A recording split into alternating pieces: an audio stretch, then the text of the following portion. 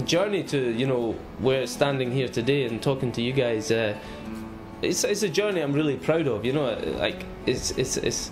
It's not a romantic story where my, my, my mother and my grandmother were teaching me to cook like you know many great chefs. I started washing the pots and pans when I was 13. I was at Gleneagles Hotel when I was 17. I was in London working with the legendary Pierre Koffmann, three star Michelin, when I was 18 years old. 21, I was in Paris working with Guy Savoy, legendary French chef, three Michelin star. Uh, I was then worked for Alain Ducasse in Monte Carlo, um, another three star Michelin, and all these wonderful three star Michelins that I was doing my uh, training. I was using Scottish produce as well. So the incentive, the, the drive to one day come home and open a, a restaurant back in Scotland was there. Um, and I knew the produce was good, but not until we came back and we opened the restaurant fully in 2006, June 2006.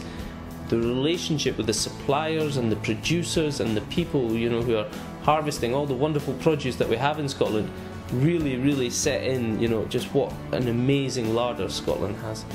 From my own point of view, something that I find really creative and really inspiring is that broadening your horizon as a young as a young chef and traveling and seeing how different cultures operate, how they live and breathe food. Um, even travelling around Scotland, you know, each little area, you know, you go to Ayrshire, they've got their own little specialities. You go to Orkney, you go to the, the west coast, you know, these guys, these islands, you know, they, they have the most unique recipes, you know, the unique produce, the people, the guys who dive for the scallops, you know, hand dive scallops, icy cold waters, diving down, risking your life, picking them up and you've got these guys, you know, like faces kind of like urged by the wind and the cold, and you know, he's like that, you know, the guy was like, right, let's have a scallop cooking competition, you know, and it's, you know, for me, that's that's what uh, is inspiration.